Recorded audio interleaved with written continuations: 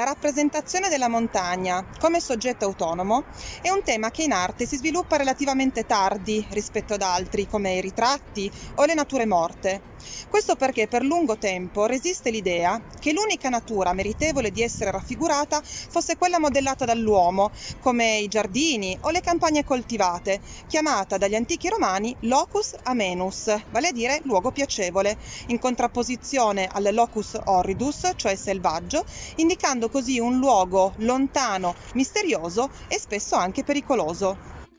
Ciò non vuol dire che non si rappresentasse. Una delle più antiche immagini di montagna è un affresco staccato da Pompei che rappresenta il monte più pericoloso di tutti, il Vesuvio.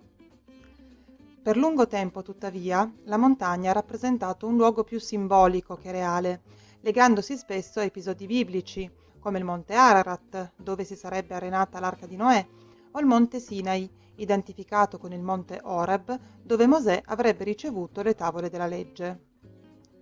Con l'affermazione della religione cristiana, la montagna assume un nuovo ruolo, comparendo come sfondo in alcune rappresentazioni. Qui, per esempio, potete vedere il mosaico rappresentante il buon pastore che con le sue pecore si trova in un paesaggio montano, visibile nel mausoleo di Galla Placidia a Ravenna, risalente al V secolo d.C. Nel corso del Medioevo, le raffigurazioni di rocce spigolose e geometriche servono generalmente agli artisti come richiamo a un paesaggio astratto e allegorico, non rappresentante realtà riconoscibili, anzi spesso posta a contrasto con i soggetti raffigurati. Vale però ricordare alcune eccezioni, come nella chiesa di San Martino a Zillis in Svizzera, dove si conserva un soffitto composto da 153 pannelli dipinti eseguito intorno al 1160.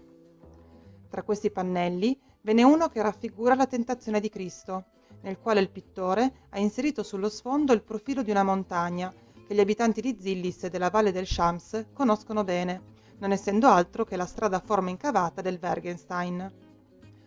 O ancora il riquadro con il miracolo dell'acqua o della sete opera di Giotto nella Basilica di San Francesco d'Assisi, dove il santo è rappresentato nell'atto di pregare davanti a uno sperone di roccia in un paesaggio riconoscibile come tipico umbro. Nella pesca di San Pietro di Conrad Witz del 1444 sono invece ben riconoscibili il lago di Ginevra e la montagna retrostante.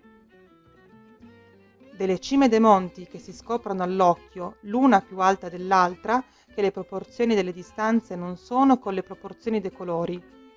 Così invece Leonardo da Vinci indirizzava nel suo trattato di pittura i suoi allievi alla rappresentazione della montagna, conseguendo quindi anche il primato, insieme ai suoi numerosi altri, nel fornire indicazioni pratiche a riguardo. Ancora nel Seicento la montagna appare nei dipinti come luogo di ombra o di luce, a seconda del messaggio che il pittore voleva comunicare, senza però rappresentare paesaggi reali, come si vede bene in questo dipinto di Rembrandt. Sarà però con la fine del XVII secolo e l'inizio del XVIII che la prospettiva verrà ribaltata e con l'affermazione della società dei lumi e il primato della scienza si accetta di sfidare il selvaggio, scoprendolo in realtà affascinante, tanto da definirlo lo spettacolo della natura, titolo di un'opera pubblicata per la prima volta nel 1732 dal naturalista Plush.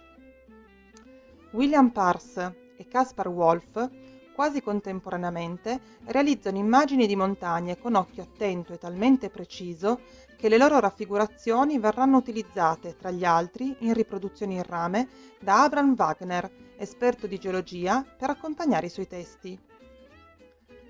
Con la conquista del Monte Bianco nel 1786 da parte di Balmat e Paccard e soprattutto con la sua ascensione da parte di de Saussure, l'anno successivo per calcolarne l'altezza, questa montagna diventa il soggetto principale dell'iconografia alpina. La montagna così rivelata diventa soggetto autonomo della rappresentazione da parte di tanti artisti, che spesso si avventurano alla sua esplorazione, specie nel corso dell'Ottocento, come per esempio William Turner, che amò particolarmente le montagne, riproducendole spesso e soggiornandovi a lungo. Gli impressionisti, attratti dai fenomeni naturali e per primi a rappresentarli dal vero, furono molto affascinati anche dalle montagne, come ci dimostrano Monet e Cézanne in questi due dipinti.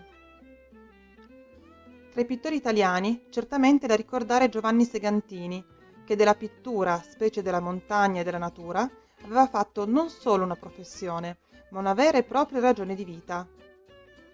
Ormai la strada per fare della montagna soggetto a sé stante è aperta e numerosi saranno gli artisti che la rappresenteranno con varie tecniche e stili. Chiudiamo questa carrellata con il monte con il quale abbiamo iniziato, il Vesuvio, ma rappresentato da Andy Warhol nel suo originalissimo stile pop del 1985.